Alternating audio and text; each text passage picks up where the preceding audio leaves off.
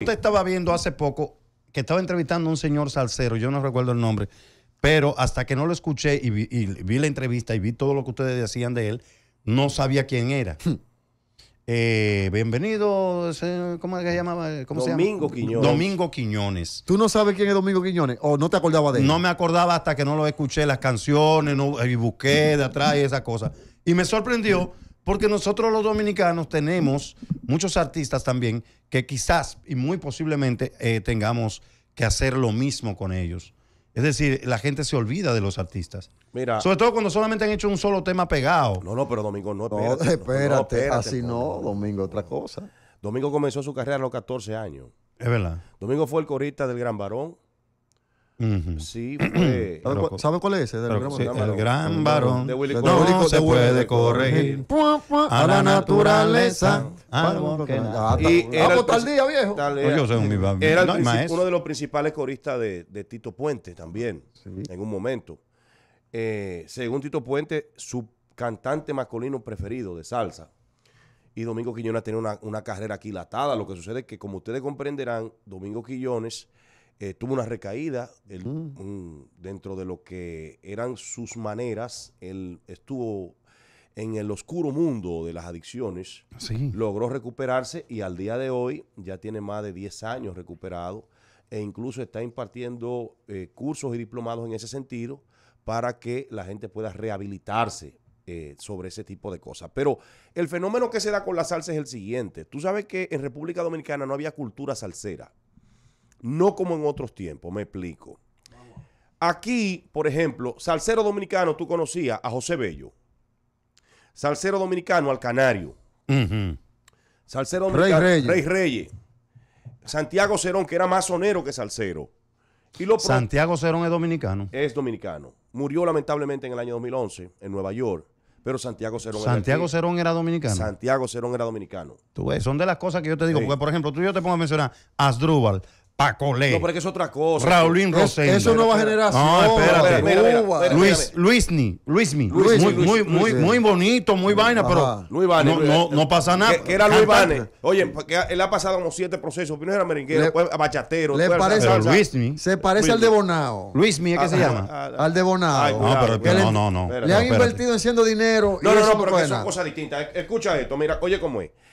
De- tabla- estaba hablando de los salseros de, de la de otra época. En el caso, por ejemplo, de Raulín, que se fue temprano de aquí a hacer salsa en Nueva York, José Bello, Canario, que era el salsero más internacional del, del- del El país. canario, ese, ese sí, porque ese, se hizo millonario. Siempre, pues, siempre tiene un caché, siempre. Ese- sí, Siempre ha estado tipo- limpio, él siempre ha estado Una vez sano, lo limpio. atracaron por ahí abajo, por la zona colonial, ¿tú te acuerdas? Sí. Eh, hace un tiempo, sí. Hace unos años. Se le llevaron años. unos chelitos al canario. Sí, sí. Pero cómodo. Sí. El canario Fue estafado o un melón, atracado? Atracado, un melón, un melón, un melón. Ay, un Pero melón. bueno, el asunto de cuestión es que en, esa, en ese momento, quizás la salsa de República Dominicana no tenía el repunte que tiene en estos tiempos. Si el principal salsero que teníamos aquí era Johnny Pacheco, que fue que creó el concepto El y movimiento de salsa, pero si bien es cierto que aquí no había cultura salsera como tal. La salsa comienza a decollar a partir del año 2012. O sea, para esta generación. Dentro de las cosas que habló Domingo, había una muy importante. Él dice que la salsa dominicana tiene un estilo que es eh, muy especial, o sea, que, que identifica ya como tal la salsa de este Mira, país. mira, te y a eso se algo. debe a Víctor obvia- Exacto, obviamente. sí, sí, los exacto, arreglos, porque sí, que- que sí. son. La, la nueva generación de salsa del 2012 en, en adelante tiene un nombre y se llama Víctor White, sí. que fue que le puso el sabor, eh, la rítmica. Ustedes saben que la salsa de acá es un- salsa rumba, que hay mucha gente que dice, mira, porque la salsa dominicana es, mu- es muy rápida. Pero que esa nueva camada, eh, A- Asdrúbal, también este muchacho. Chiquito, Chiquito, Asdrúbal vale viejo ya. Porque Eh, yo me acuerdo Da- no, no, no, Oye, Da- David Cada, esa No, gente. David El- Cada sí, David Cada, Luismi, el, el propio Pero Adrúbal también. Adrúbal Félix también. Manuel. Sí. Ellos entran ahí todos. en Todo, ese renglón, todo, todos. Los chiquitos Timbán, esos son nuevos, pero Asdrúbal no, no. es No, no, no, viejo. perdóname, perdóname, Oye, yo no, me no, acuerdo no. que cuando yo estaba con Freddy, yo se lo llevé y lo presenté allá donde No, Freddy. Freddy me dijo, ese muchacho es un cantantazo. Escucha no sé por qué no está pegado. Escucha, enviado. Oye, que lo que Asdrúbal, pasa es que una estrella. se dio una- un, movimiento de salsa aquí a partir de cuando, de, de cuando Gillo. Sí. A partir de Gillo. Entonces, ¿qué pasa? Antes de eso, tú tenías, por ejemplo, tú tenías Chiquito Timbán.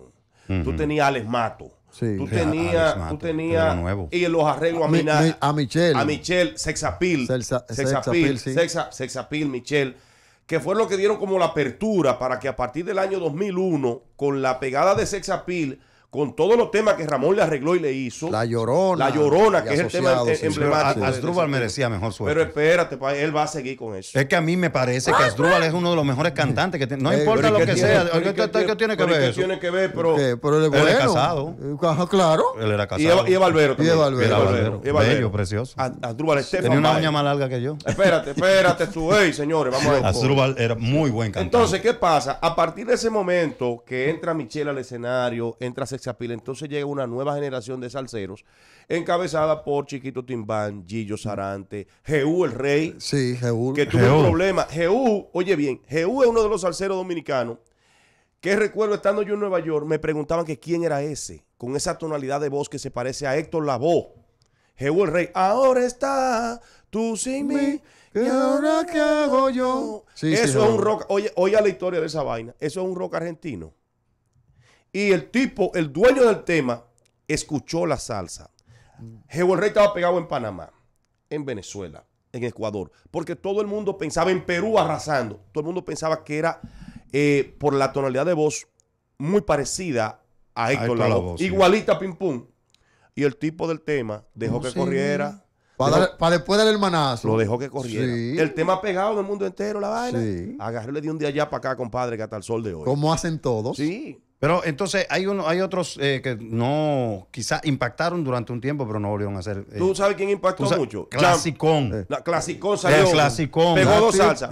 La tipa le dio Dio para pa' mí. mí. ¿Quiere Era- la del coronel. La que- del coronel. Sí, esa, y él pegó otra también. One Hit Wonder le llaman a eso. Él, él pegó Uno y dos. no más. Y Ajá. también este muchacho, Janford, Janford. pegó también, un tema sí. también. Ay, ay, Janford. Bueno. Señores, ese muchacho. Ay, ay, Pero ay, ahí ay, bien. Trataron de ayudarlo, de rescatarlo. Vamos a esto, muchacho. Y no, él- yo creo que él está ¿Y qué acá- era lo que, cuál es el problema de él? No, es que Janford tuvo problemas con, con lo que fue su manager. Sí, Recuérdate unas que situaciones unas situaciones, un par de pecosas, una cosa, pero el muchacho tiene talento, pero lamentablemente está Y, fuera y- del y de las hembras, ¿cuáles son las más populares? La loba. No, está, Milagro- No, no, la- no, no, Mila- eh, Milagro no está en el no, esta muchacha. eh, No, no, ya ya no está, pero cuando tuvo, tuvo pegada, eh, la loba. No, mi- una Milagro- voz allá Milagro-. Mi- Milagro. Milagro, una estrella. Milagro me dijo a mí, me hizo una confesión. Esa sí era buena, compadre. Hace unos en el plan años. social tuvo un tiempo. Hace unos años, está pe- ese- Hace se unos años ahí. Milagro Cuando Hipólito era que ella estaba allá. No, y cuando, después no, cuando Leonel el primer gobierno. Cuando Leonel fue. ¿ah? Sí. Rula cantante. Rula cantante muy buena. La que es esposa de. No, no, yo no sé de quién, yo no sé de quién es esposa. Yo sé que ella es salsera. Ok, oye. No sé. Mira, La que es esposa de eh, vaina, No, de- no sé, no sé, no sé, no sé. Muy buena esa. Espérate Una tú. morenita y bella. hablando. Preciosa esa negrita. Mira, la loba me dijo a mí que ella cometió el error de dejar su carrera en el mejor momento para meterse a joder con política. Ahí mismo. Y que, y que la política Esa sí era buena. no perdona ni agradece. Así de simple.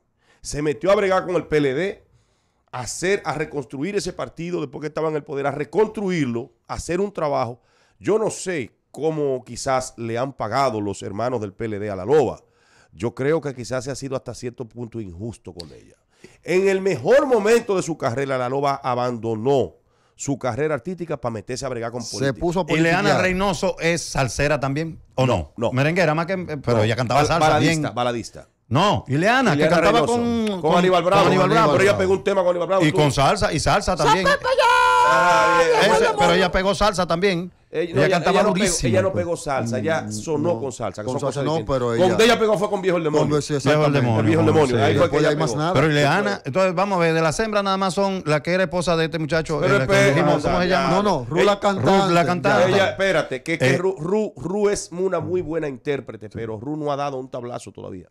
Pero esa es muy buena cantante. Excepto, no, No estoy impa- diciendo que no es Bueno, esa todavía. tipa tiene una voz allá arriba. No, no. Ru- de las mujeres que hacen salsa, yo creo que Ruth es la, la- la de mayor impacto y la, y la de mayor eh, vocalización que tiene el país. Ahora bien, una cosa es eso y que ella haya sonado con varios temas y otra cosa es que dé el tablazo. Ella se mantiene siempre trabajando. Y Sí, recuerden sí, que ella viene sí. ya de una vez escuela. Ella Sí. viene del merengue, de, de ser corista y esas cosas.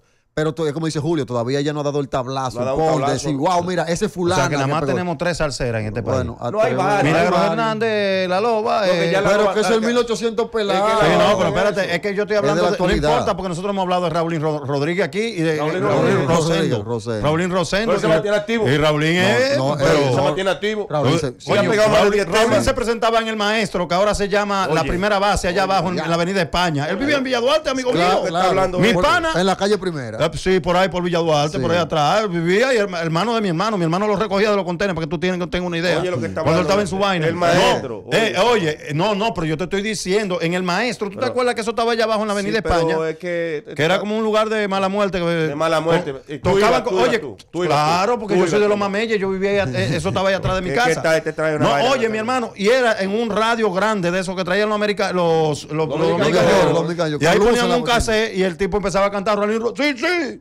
Mi, mi hermano. pero Eso sí, espérate. que se ponía Pero así. se, se manti- se mantiene activo. Y eh, Luisín Martín. Martín, el Oye, el jefe, el eh. Raulín, Raulín Rosendo había, ha tenido algunos problemas de salud sí, sí. Sí. en los últimos meses y eso lo ha mantenido un poco alejado de los escenarios, pero sí él estaba activo, incluso estaba aquí el año pasado. Para esta fecha, si no hubiese estado, no tenido esos percances, ya él tenía varias actividades aquí en el país, incluso había grabado cosas nuevas. Entonces, él se mantiene. mantiene, sí. No es, no es lo mismo que tú me estás hablando a mí de Milagro Hernández La Loba, que La Loba dejó del escenario hace mucho tiempo. Pero era la, la mejor cantante que No era este la país. mejor, era la, la de oye, mayor incidencia. No, hermano, la y, mejor. y la, la loba, óyeme, con una voz, una voz extraordinaria. Espectacular. Tú, tú tienes, por ejemplo, ahí, tú tienes ahí, por ejemplo, a Yolanda Duque. Ah, sí. Ah, también, esa fue Yolanda cantante. Duque. Yo- Que Yolanda Duque. ella fue corista de Tito Puente también. Yolanda Duque. que anda por ahí con un tema nuevo también. O sea, tenemos cuatro mujeres nada más en la no, hay, hay más. Lo que pasa es que todavía ninguna No- de esas no han damas pegado. han dado el tablazo. Porque una cosa es que tú suene y que te mantenga trabajando. Y otra cosa es que de un tablazo que ya tu carrera despegue automáticamente. Ya, eh, vamos a ver. es.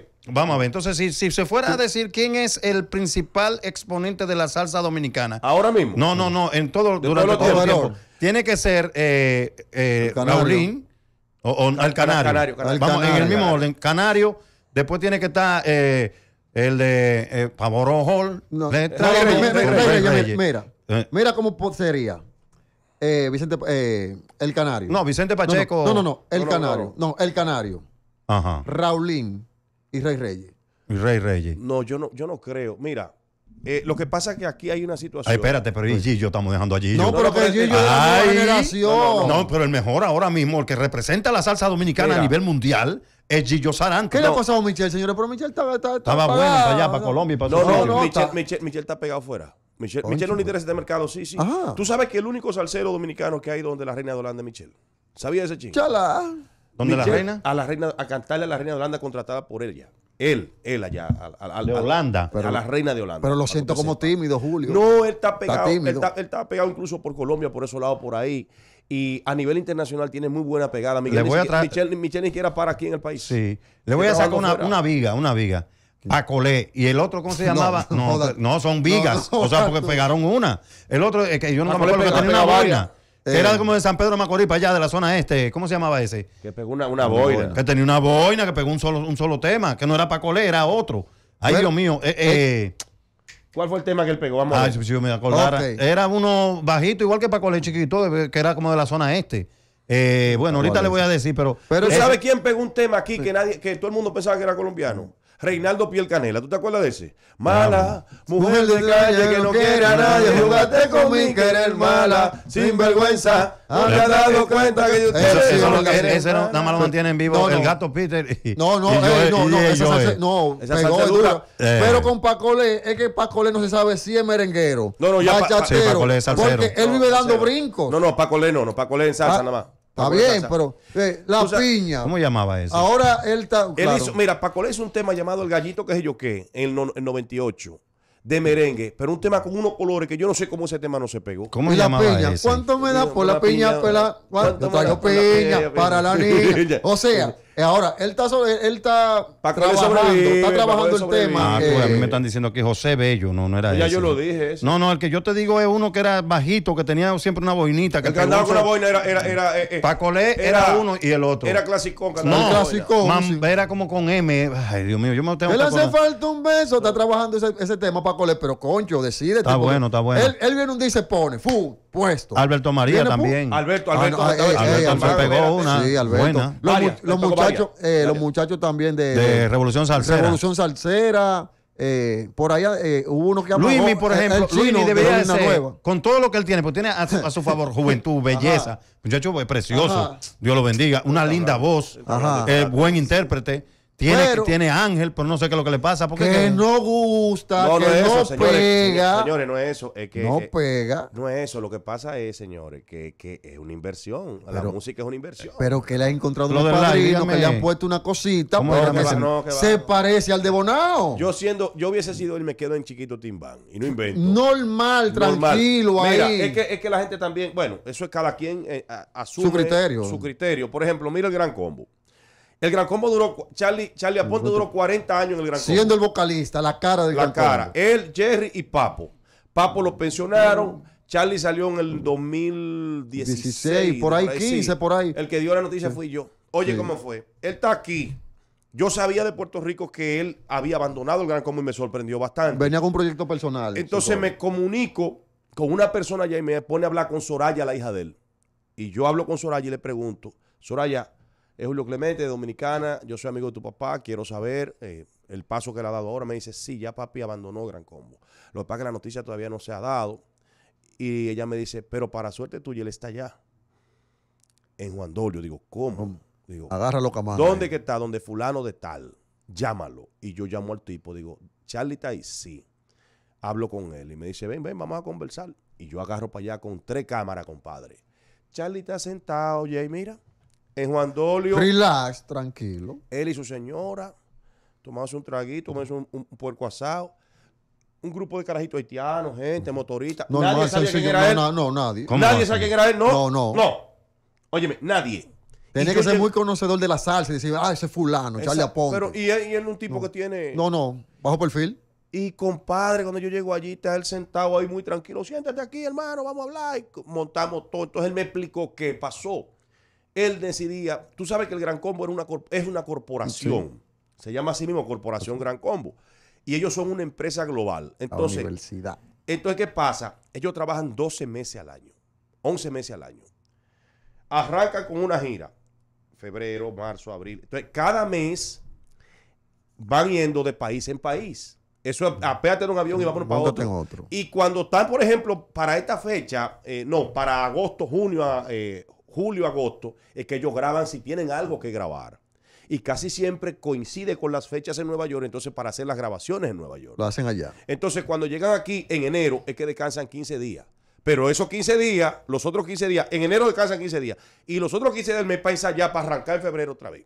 Calcula eso a 40 años. Eso no lo aguanta. No, 40 no- años. No hay cuerpo que lo aguante. Entonces, Charlie me había explicado, mira, yo tengo oferta de Colombia para hacer mi propia agrupación musical.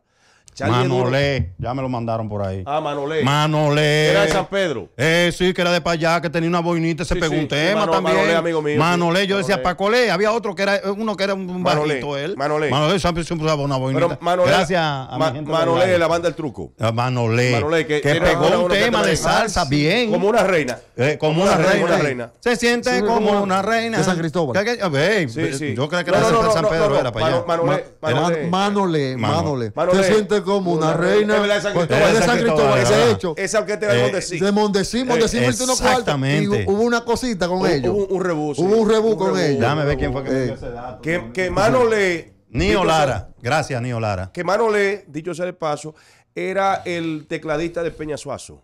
Sí. Ah, porque toca también. Sí, sí, Sí, es un musicazo. es completo, es completo. No es un musicazo. Pero Él pe- ese, ese me gustaba mucho a mí. Incluso Se siente yo- yo como recuerdo- una reina cuando, yo la estoy mirando. Él pegó, Bellísimo él pegó más salsero. Él, él tenía la banda del truco, que era merengue. Y Sí, él pegó esa salsa y pegó otra salsa Él también. pegó otra. Eh, Y sí. recuerdo que en ese tiempo, cuando él estaba ahí, él estaba- tenía amores con una bailarina que yo conocía. Cuidado. Esa no sí andaba, andaba en un Mercedes. Ahora tenía, un tenía, 320 chiquito. tenía un estómago bueno, fino. Esa, que ese era feo. No, no, no, espérate, no. feo. no, el tipo estaba limpio. el, tipo ese tiempo estaba limpio. Sí, el tipo arrasó primero con, con- cuando era con la banda del truco, estaba pegado. Sí, pero no, pero no era buen hizo la- mozo. No, pero que. Para una bailarina. El tú sabes vaque- que la bailarina. eh, no, hermano, No, no, cromo. El vaqueo. Ah, aparte el del vaqueo. tenía. Él estaba open, estaba limpio, como dice Julio. Estaba limpio, estaba limpio. Estaba sí. limpiecito. Manuel estaba limpio, limpio, limpio, limpio. Limpio, limpio.